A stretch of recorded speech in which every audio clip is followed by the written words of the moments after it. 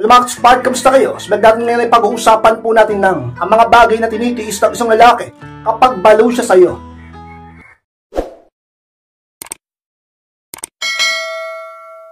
At kung handa na kayong lahat ay mag-start po tayo at muli, be inspired!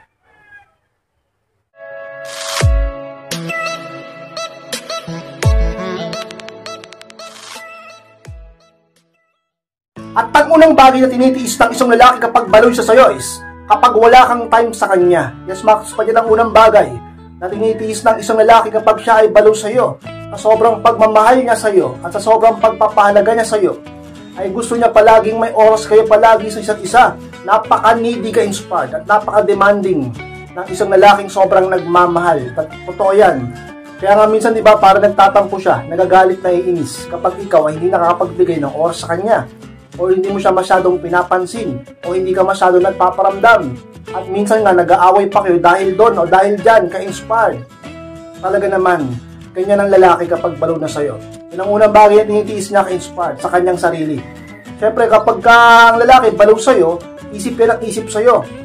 Gusto niyang nakikita ka gusto niyang nakakasama ka dahilan kung bakit ka-inspired. Tinitiis niya yan. Syempre wala kang oras sa kanya. Anong ginagawa niya? Hintay ng hintay sa'yo wala kang oras sa kanya, wala kang time para sa kanya, anong ginagawa niya? Isip lang isip sa'yo. Namimiss ka sa lahat ng oras na pagkakataon. Kahit may ginagawa siya, kahit may trabaho siya, pumapasok ka sa isip niya. Naaatat siya, nasasabik, o hindi na halos makapaghintay na muli kang makasama, makita, makausap, ka-inspired sa mga bagay na tinitiis ng isang lalaki kapag balaw sa'yo. Kapag sobrang mahal ka niya, ka-inspired. Kapag ka wala kang time sa kanya, Talaga namang napakahirap nun para sa kanya ka-inspired. Napaka-needy niyan at alam ko na makikita, mararamdaman at mararanasan mo yan kapag ganyan ang partner mo sa'yo ka-inspired. At ang pangang bakit pa na tinitiis ng isang lalaki kapag baloy sa sayo is ang iyong hindi magandang ugali kung meron man. Yes, mga inspired. Kung meron kang pangit na ugali, isa sa bagay na titiisin niya.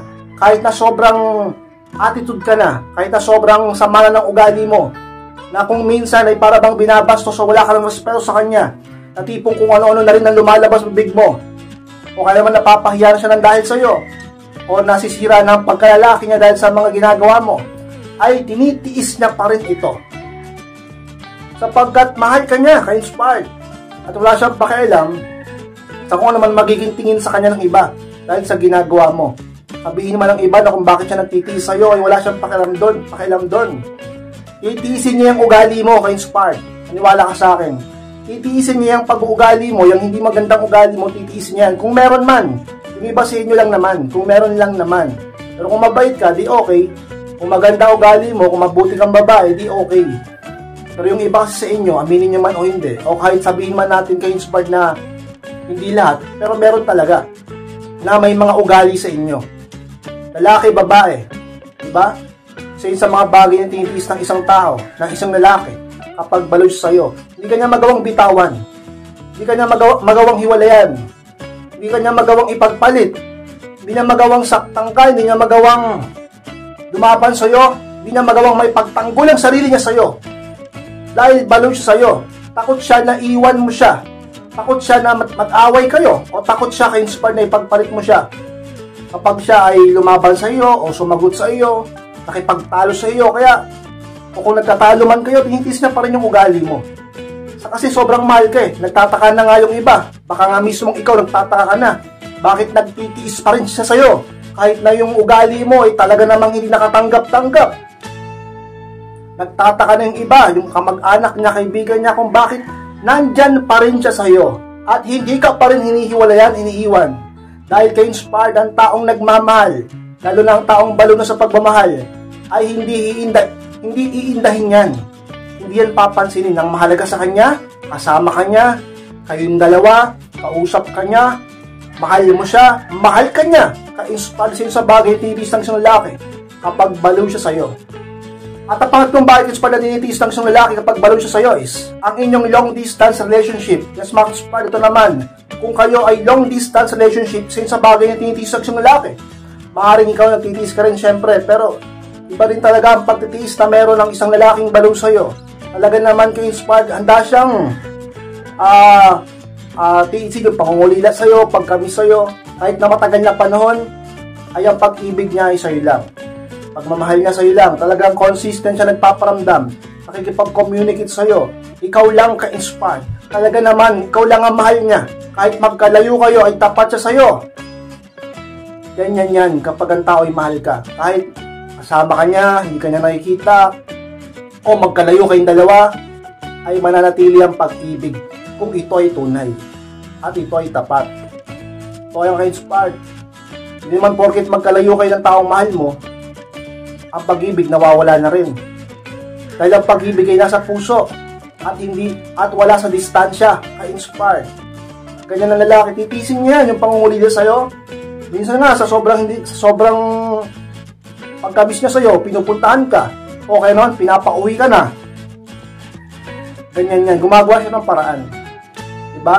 Talaga namang napakahirap talaga niyan. Long distance relationship. Sa totoo lang ha, meaning ko sa inyo kay Inspired, base sa aking pag-aaral, ay walang masyadong tumatagal talaga sa LDR. Nag-aaway, hindi talagang sa katagalan, hindi na nagkakaintindihan, o kaya naman nagloloko ang isa sa kanila. Maaring yung babae magloko, yung maaring, o maaring lalaki yung magloko o maaaring silang dalawa ang magloko. O kung hindi naman, lumalabas yung ugali. O kung hindi naman, ka-inspired, nagsasawa.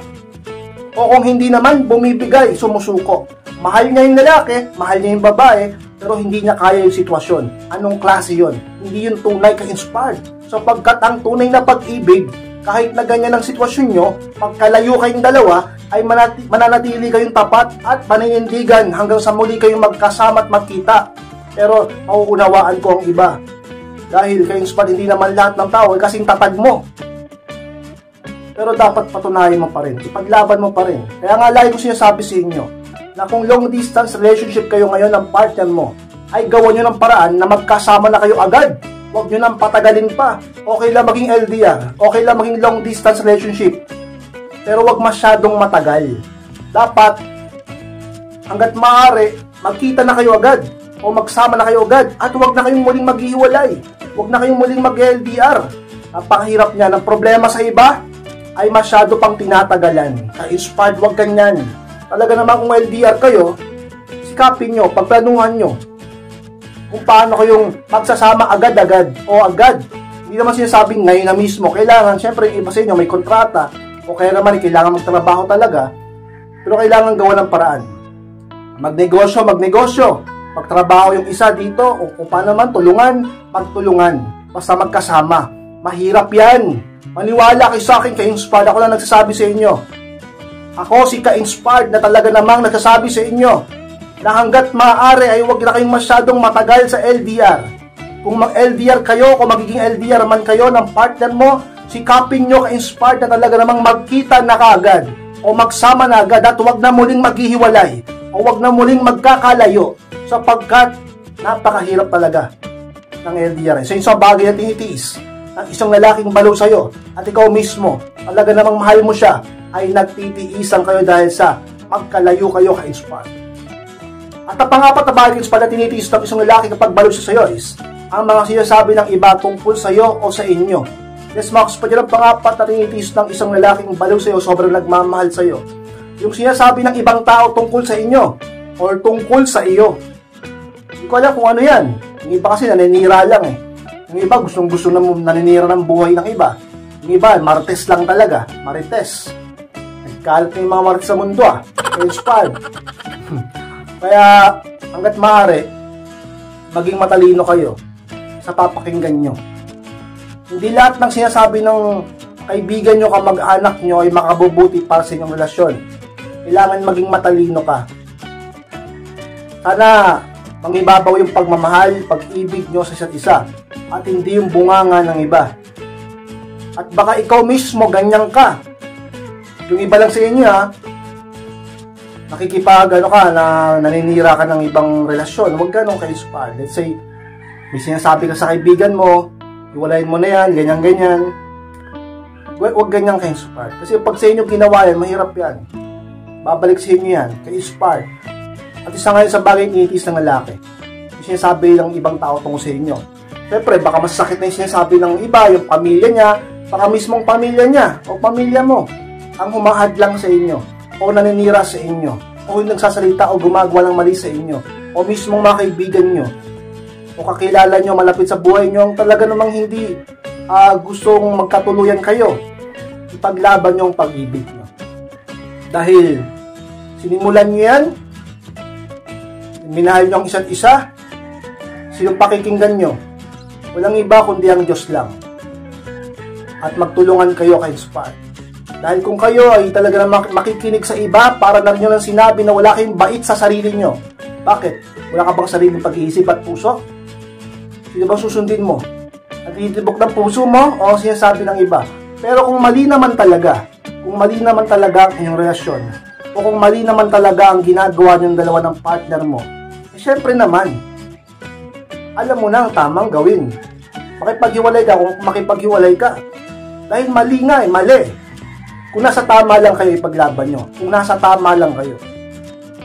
Huwag nyong pakinggan ng iba. Pero kung alam nyong mali, ayusin nyo yan kay Inspire. Dahil hindi may, tata hindi may tatama ang mali ng patuloy na paggawa ng mali. Kay Inspire sa mga bagay na tinilis ng isang lalaki.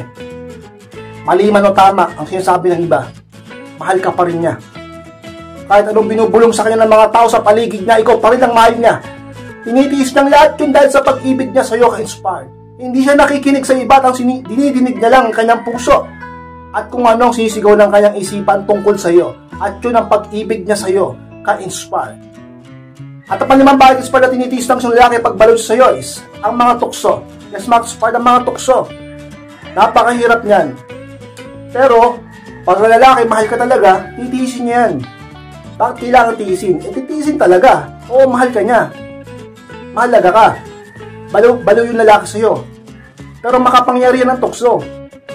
Sa paligid mo lang yan. So lahat kan titiisin niya, lalabanan niya. At sisikapin ng mga ibabaw ang pagiging tapat niya sa iyo. Yes, Mark Spad. Kahit ikaw naman araw-araw kang sumasabak sa tukso. Diba? Sana palagi ka nagwawagi. Dahil lahat tayo ay araw-araw nakikipaglaban sa masama. Alam niyo na kung ibig ko sabihin kayo, matatanda na kayo Lumapit kayo sa Diyos at magtalaga namang mag-pray kayo palagi sa Kanya upang kayo ay lagi o tayo ay laging magtagumpay sa masama, sa mga tukso. At ang lalaki ka-inspired na talaga namang nagmamahal sa iyo ng sobra, nagpapahalaga sa iyo ng sobra, dahilan kung bakit sinasabi ko na baliw na siya sa iyo, ay talaga namang ka-inspired, umiiwas sa tukso. Nilalabanan niya ang lahat dahilan kung bakit tinitiis niya ang talaga namang paghihirap ng kanyang katawan, isipan at kanyang damdamin, lalo na kapag magkalayo kayo at nagtatampuhan pa. Lahat yan initiis niya, nilalabanan niya, pinipigilan niya ang kanyang sarili at ipinaglalaban niya ka-inspired ang pag-ibig niyong dalawa sa isa't isa. So Max po lang po, maraming salamat Max Sports sa pagtapos po ng vlog detox. Huwag po kalimutan mag-like, comment, share na rin po upang makatulong din naman po tayo sa iba. At sa mga hindi pa po nakasubscribe, ay subscribe na po Max para click nyo na rin po ang notification bell upang maging updated po kayo pag may bago po akong upload. Maraming salamat Max para mag-ingat po kayong lahat. Mahal ko po kayo at muli, be inspired!